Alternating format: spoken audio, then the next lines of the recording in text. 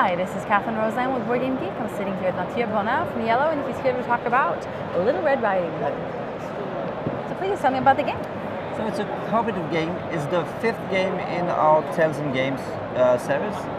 Um, and well, the, the goal of the game is to reach Grandma's Cottage, which will be somewhere under one of those tokens, okay, before the wolf does. Aha. Okay. It's um, a pusher game, okay? And at your turn, you will flip one of those cards and add a little token for each flower you see, face down. Okay. Uh, then you will have to decide if you want to push your luck or not, taking turns. All right. If at any time you, you flip a card that is less than the number of cards you already flipped, uh, your turn is over. You don't advance your, your pawn, but the wolf does.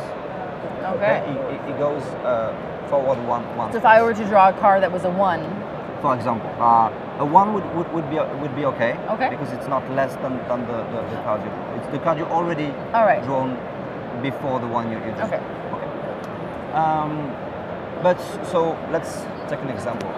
Like this one, we would add two of those. Some of the cards in there are special. Like oh, this one.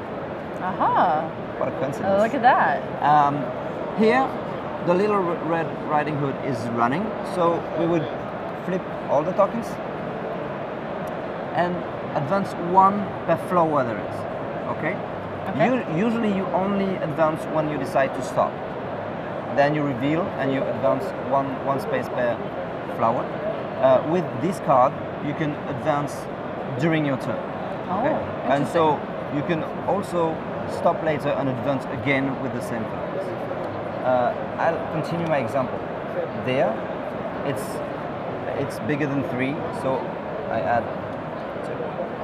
Do you want to continue? Yeah, to yeah, let's just try. Okay, Let's let's- push luck a little bit. If you if you stop here, we would reveal those and advance uh, for each flower one space. The wolf always advance one space, no matter what. Advance. This one is another special card that allows you to look at the last card, you know, and as you know exactly what the cards are in here, you can guess that it won't be the, the, the, the next one. Okay. And so, if we're too greedy, we're going to hit either the wolf, which is zero, or a card that is lesser than the number of cards we, we already there. In that case, as I told, you take all of those, you put that in the little baskets over there, and you discard all your cards. Okay?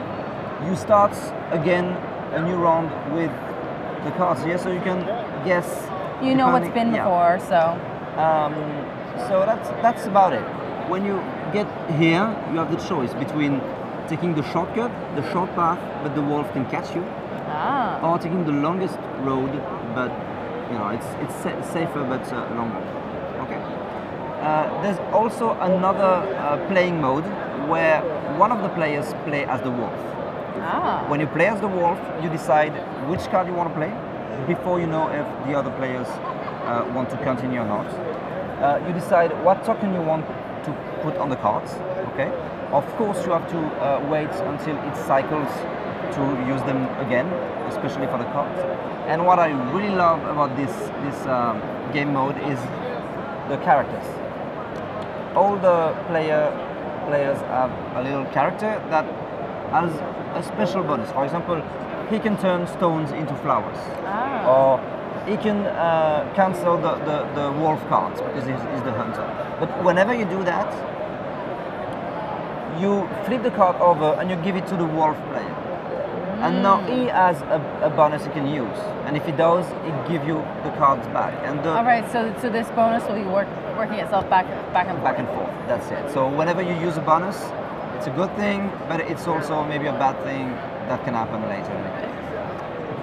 So that's it. Fantastic. How many players does it play?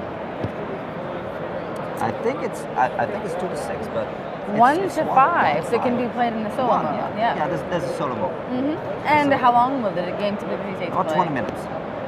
Fantastic. Thank you so much. That is a Little Red Riding Hood in this gorgeous book box from Iello.